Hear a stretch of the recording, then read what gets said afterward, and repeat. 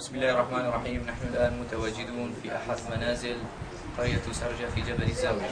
حيث تم استهداف هذا المنزل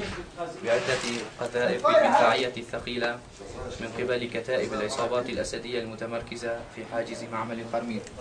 الآن لنرى ونشاهد آثار الدمار الذي حل في هذا المنزل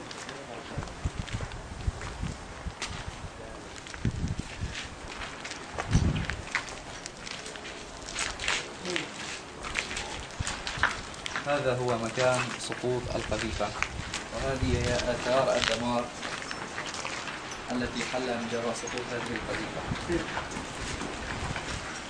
هذه الغرفة من خراب ودمار من جراء سقوط هذه القذائف على هذا المنزل. انظروا هذه هي آثار الدمار والخراب وهذه هي آثار الشظايا التي خلفتها هذه القذيفة